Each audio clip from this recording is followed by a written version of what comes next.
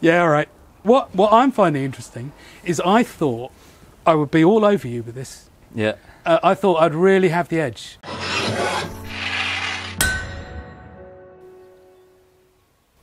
Hi, it's Tod from Tod's Workshop and Tod Cutler here, and I am back with Joe Gibbs Hello. at Stanton Harcourt Manor House, this amazing place that was besieged by a bunch of archers in 1450. Now, we just did a film where we're shooting for distance, and uh, it significantly improved things from shooting up there. But of course, an attacking force is not going to be 300 yards in the distance, they're going to be up close. So we've got crenellations today that we can go and play with. And all those questions we want to know about can you shoot straight down? Can you shoot over there? Is a crossbow better? Is a longbow better? What are the practical implications of shooting from that very place where they were shooting in 1450? Should we go find out? Let's do it.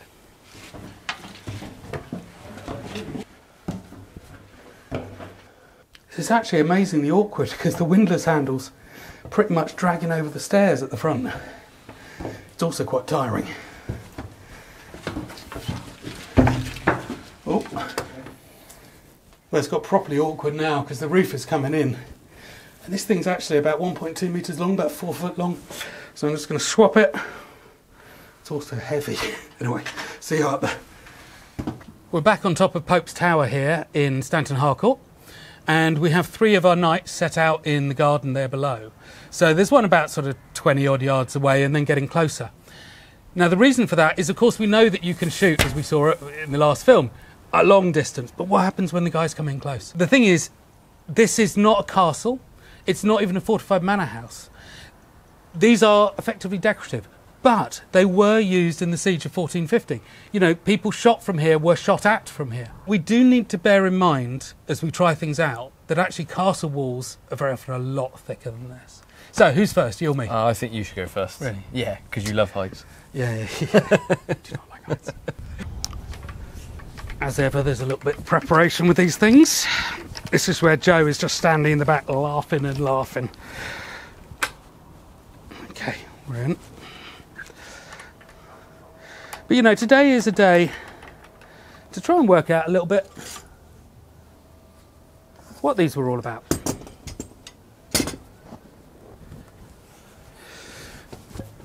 Now you can shoot downwards. This is a bit awkward because health and safety wasn't going to be an issue in 1450. It is a little bit now.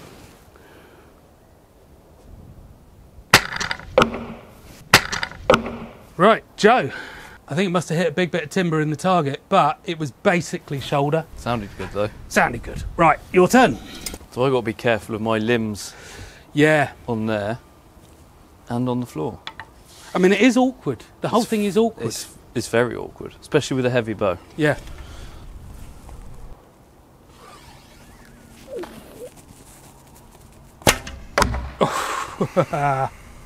yeah, all right. Just in the stomach. Yeah. So, nice one. Okay, that's interesting. I mean, I had to stand right back, and the whole thing is just, it is difficult. Yeah, it was very difficult for me actually. I was. I think I'm going to really struggle with the next two. You know, I watch you shooting in a field, and you are going through a very particular set of movements. This is restricting you like heck. It, yeah, there's there's a lot of stuff going on in the way, and um, not used to it. And also, this the whole point of coming right down. Yeah. Um, you want to keep as straight a back as possible, and I'm having to bend right No, over and start start bending the spine, and it, it- you know All right. it's gonna Well, it's gonna would- be hard work. What I would say is, you know, don't hurt yourself. I, I don't know. Maybe they use lighter weight bows or something like that in this situation. I don't know. Yep. Because obviously they're going to know that it's a problem. Right. Centre chest. Did you get it? Oh, nice shot. Yeah. Okay. But you know what though? Again, arrows versus armour trials, that would have bounced off, would have done nothing. Yep. Yeah, that's true. you know, yeah. we've seen it, does nothing. Face shot, that's what I wanted, and actually, that's what I missed. Hmm. Okay, let's have a go.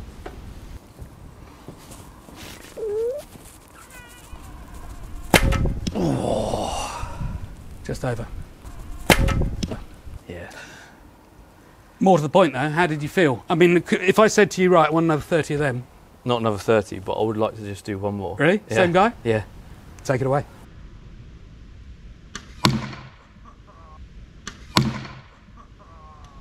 So I'm going to say our nearest guy, certainly, and, um, and this is clear as you like, our nearest guy, if I was a bit worried, a bit sweaty, a bit people are shooting at me, I'm not going to be able to hit him because, you know, I've got stuff Yeah. around here.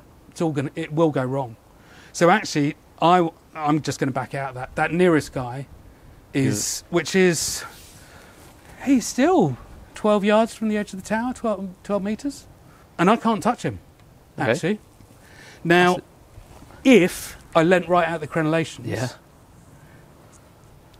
yeah, but then my whole body is exposed. I'm having to wind myself out and my bow. Nobody's going to do that. No. So next time I besiege a castle, You're gonna. stick close to the Yeah. walls. Yeah.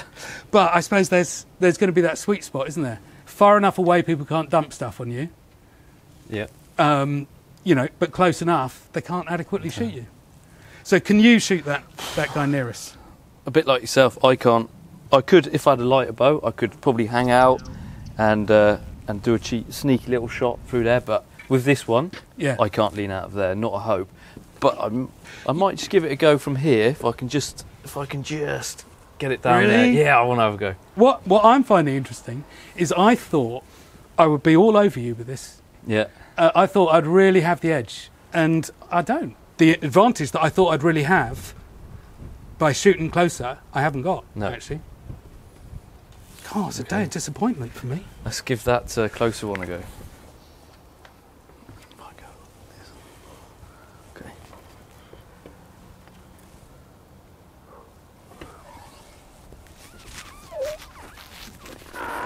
Whoa, hold on a minute. I couldn't quite get low enough.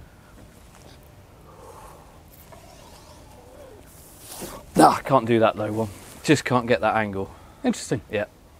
His bu- whole whole shoulders are offline and everything. It's probably with a like a hundred pound bow, eighty pound bow. Yeah. Yeah, could just about do it, but not with this. So looking at that document as well, they say over that six-hour period, thousand arrows shot, but only one guy was killed. Really? Yeah, which is like pretty rubbish return really on your investment in arrows. But it does mean that the guys sheltering here um, must have been sheltering quite well. You know, how would you defend this place to not get shot?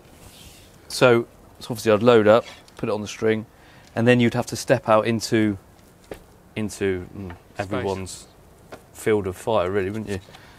Uh, and then pick your target, draw up, aim, and go. That's that's you know, second, second and a half. Yeah, because you've got all the fumbling around of stepping out, looking, and then coming back down. That's that's a Mm. long time, and then I suppose you probably had a quick couple of peeks generally, so you know where you're you're going to be sticking going. your head out, maybe. I, I don't think I'm really going to be that much different. So I'm, you know, I slightly have a an advantage, although it's slower. I can actually sort of crouch That's here, true. but but even doing that, I've still got a massive exposure there and there. You know, it's not like I'm hidden. Hmm. Um, so you know, I'd be more inclined to to, to go away from the edges, Oh, yeah. really, because you know arrows are still going to come in there. Um, and then once I am actually spanned, and then you can crouch down where I'm basically immune from shot, and then you can stand up, bam, and down, and that's probably the quickest way that I can do it. You're not going to be able to do that, so at least that's one slight advantage. But it's not the game-changing advantage that I thought crossbows might have in this situation. So yet again, audience, explain to me why they were so good. I'm struggling, even though I love them. So I think it's a pretty straightforward conclusion, really, if depressing for me. So um, I thought I'd have this one in the bag, and that I would be able to do things here that you can't. And that's actually not the case. So there might be a very slight advantage in in me being able to have cover when I'm shooting, but not that much. I have to expose myself to. Yep.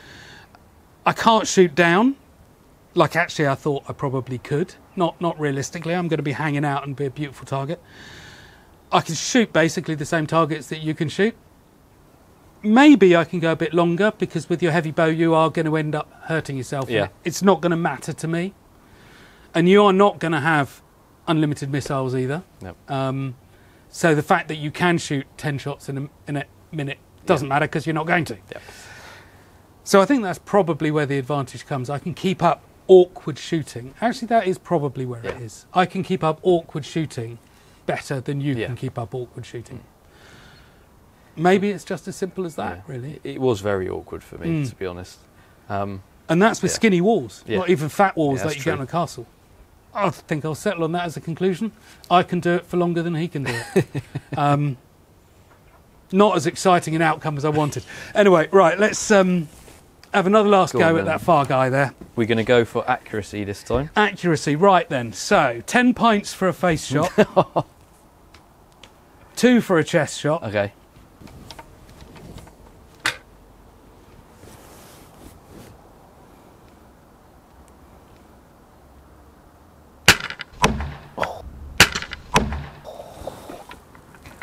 What did you get?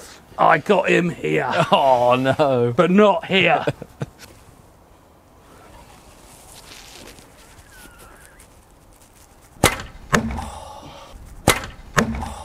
That's uh, the bottom limb. Oh, really? Yep. You can see the uh, Little scratch. see the scratch. Look where it. Yeah. So that's put that. Otherwise, that shot would have been perfect. Is that right? Okay. Well, I, I'm going to completely ignore that. So, Joe, for the very first and probably last time in my life, I have just outshot well you. done. Brilliant. Guys, thank you very much. Anyway, uh, for us, it's definitely been an education. So, Joe, thank you. It's been great. Thank you. See you again.